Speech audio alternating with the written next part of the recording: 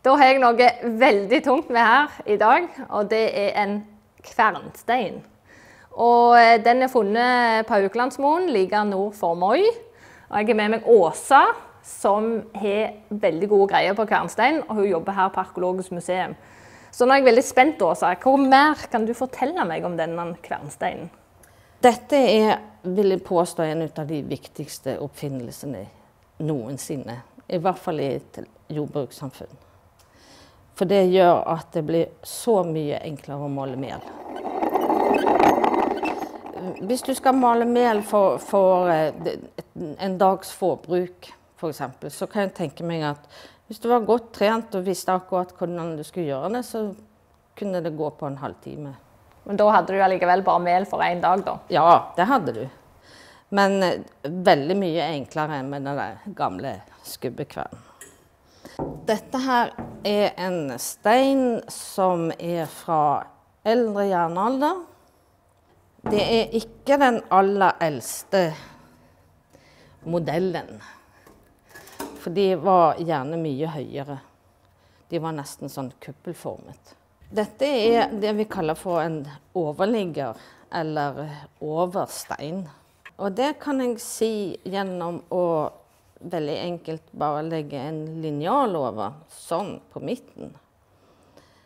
Da hviler linjalen på ytterkantene, og så er steinen konkav. Hadde dette vært en underligger, så ville linjalen ligget og vippet midt på, for den er høyest på midten. Og så har den da et hull i midten, som kalles for kvernøye. Og når den ligger oppå understeinen, så har understeinen Jeg tok frem en her som jeg bare får vise. Du ser at den har et hull boret sånn halvveis igjennom. I den så har det stått en treplugg som har gått opp gjennom hele. Så den har stukket opp her utenfor, eller ovenfor.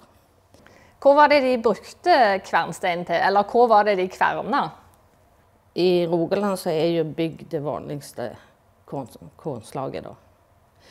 Um, så det har man laget mel av denne mangler et stykke, så vet vi jo ikke om den har hatt et hull her på oppsiden.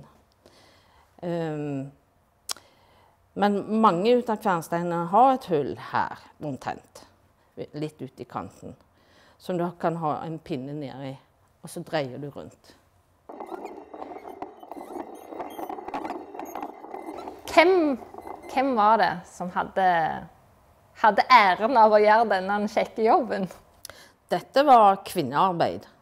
Ofte så Jeg kan tenke meg at det var jo ikke husfruen akkurat som, som satt og kvernet, men eh, gjerne trellkvinner, da. For det er jo det er ikke så forferdelig tungt arbeid, men det er slitsomt. For du blir veldig trøtt i armen etter hvert. Sånn. Det får holde. Hva er denne kvernsteinen er lagd av? Altså hva type stein er det?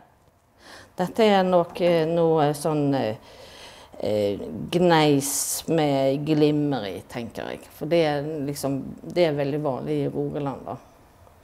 Det er jo ikke før du kommer opp i, i sein vikingtid, middelalder, som du får disse store kvernsteinsbruddene. Men da bruker de jo også en helt annen stein. Ja. Det som heter granatglimmerskifer. Sånn som de har i Hyllestad f.eks. Ja, så da, det var da det ble masseproduksjon av ja. kvernstein. Så mm. før det så brukte de det de hadde tilgjengelig, og ja. var ganske lokalt. Ja. ja. Og du kan jo bare reise ut på Jæren og så se det på marker som ikke er blitt rydda. sånt. Det er jo fullt i stein. Ja. Så det har, de har ikke hatt noen råstoffmangel sånn sett, vil jeg tro. Nei, nok av stein i Rogaland. Ja. Dette er kanskje et ikke så veldig spennende funn i utgangspunktet, men kanskje er det det allikevel. Var det viktig? Ja, denne steinen, så grå og trist og kjedelig som man kan se ut, så er den jo faktisk en del av livsgrunnlaget for disse menneskene. For uten steinen så ville de ikke hatt mel, og uten mel så ville de ikke hatt brød. Og da sulter du i hjel. Så utrolig viktige, eh, tunge ting.